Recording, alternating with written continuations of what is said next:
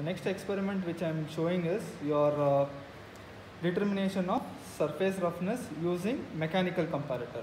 So the mechanical comparator which we are using here is your dial indicator or your dial gauge. So you have or it has uh, main scale which is on the cent- uh, which is at the center and you have a circular scale which is the secondary main scale division.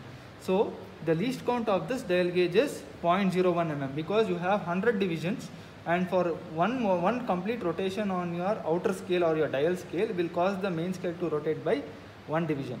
So your least count is 0.01 mm. So initially to find the surface roughness of the component, so this is the component which I have to find the surface roughness. So initially take the slide slide the workpiece across your dial and note down the deviations with respect to your height. So call that reading as H1. Similarly, move it with respect to your height H2, H3, H4. So take five or six, five different readings when you're moving the sliding the workpiece across your specimen. So that will give you the deflection with respect to your heights.